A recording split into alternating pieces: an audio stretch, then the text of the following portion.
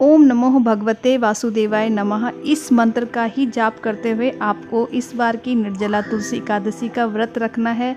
दोस्तों, नमस्कार, मैं ज्योति आपका बहुत बहुत से स्वागत करती हूँ। दोस्तों, कल यानी कि 31 मई दिन बुधवार को 2023 की सबसे बड़ी और जो निर्जला तुलसी एकादशी है, पड़ रही है। इस व्रत में समय किस तरह से क्या करना है, मैं आपको सारा कुछ बता रही हूँ, आप लोग ध्यान से सुन लीजिए। गर्भवती महिलाएँ भी कुछ नियम का ज़रूर पालन करें।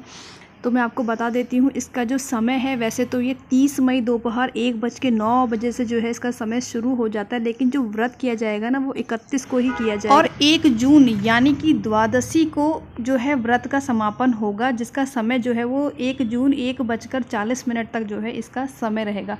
दोस्तों, द्वादशी के दिन जो पारण का समय रहेगा, वो रहेगा सुबह पाँच बजकर चौबीस मिनट से आठ बजकर दस मिनट तक। तो यानी कि जो एकादशी है, वो शुरू होगी आपकी तीस मई से दोपहर एक बज के नौ मिनट पर। और जो व्रत है, निर्जला एकादशी जो व्रत है, वो इकतीस मई बुधवार को किया जाएगा। और जो जो इसका समापन है, वो आपका एक जून को होगा। तो जिसका समय मैंने बता दिया, पाँच चौबीस से आठ बजकर दस मिनट तक। और हाँ जो गर्भवती महिलाएँ हैं और अन्य महिला पुरुष है, जो भी इसका व्रत रखते हैं वो भूल कर भी इस दिन ना तो तुलसी पे जल चढ़ाएँ मतलब कि तुलसी में पानी बिल्कुल भी नहीं चढ़ाना है और हाँ तुलसी के पत्ते भी गलती से नहीं तोड़ने हैं। आप जो है एक दिन पहले ही तुलसी के पत्ते तोड़कर रख लीजिए जिसे पूजा में आप लोग इस्तेमाल बिना पानी पिए बिना कुछ फल फ्रूट खाए हुए इस व्रत को किया जाता है।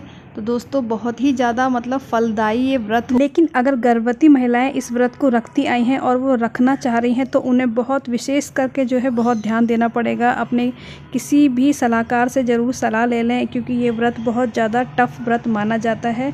तो दोस्तों, बहुत ज़्यादा अपने स्वास्थ्य का ध्यान देते हुए ही व्रत को किया करें। बाकी अन्य लोग जो इस व्रत को रखते आए हैं, वो नॉर्मल विधि विधान के अनुसार व्रत को करें।